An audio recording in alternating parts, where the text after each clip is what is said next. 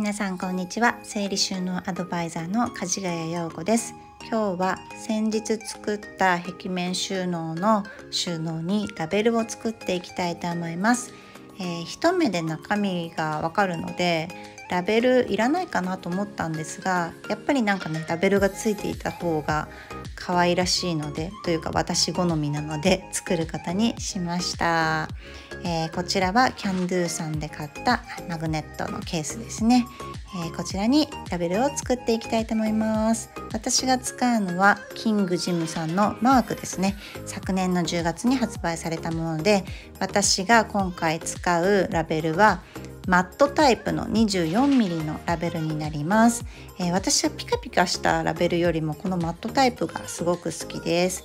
それでは作っていきましょう。まずは携帯の Bluetooth で、えー、このね専用のアプリとつなぎまして起動させていきます。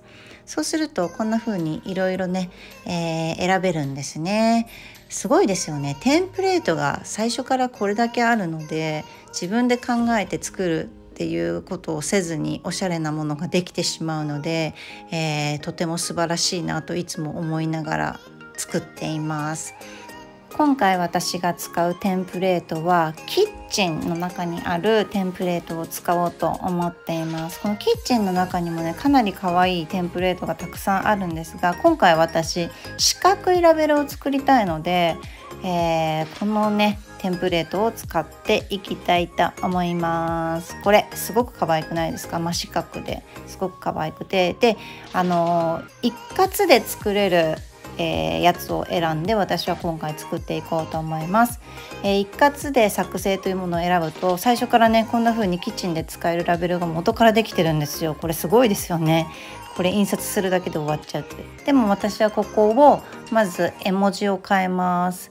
えー、今回クリップと電池の収納ラベルなので電池に変えてで今マンデーっていう風になってるところを、えっと、炭酸電池という風に入力して作っていきます。でこれはねまた電池を選んで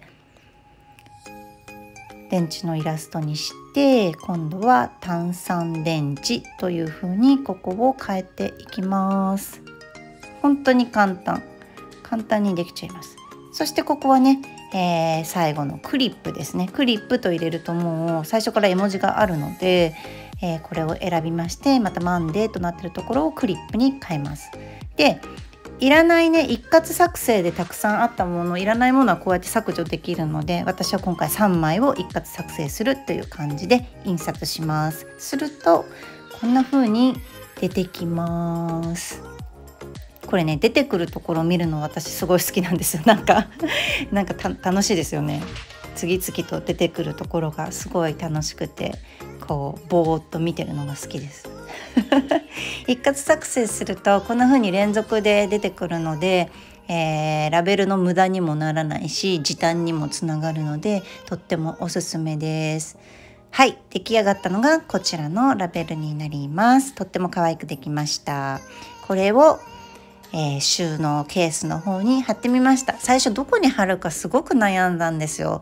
右下か左下か右上か。左上か、えー、中央かみたいな感じで悩んだんですけど結果なんか真ん中にあるのが可愛いなと思って真ん中に貼ってみましたいかがでしょうか。不思議ですよね。ラベルを貼るだけでなんかケースがおしゃれに見えるという、えー、そして、えー、作り上げたものを収納場所に、えまた戻しました。こんな感じでき上がりました。なんかラベルがあるだけでとっても可愛らしくなって私としては大満足です。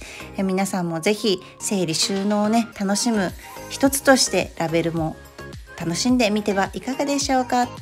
本日もご視聴いただきありがとうございました。それでは皆さんまた会いましょう。さようなら。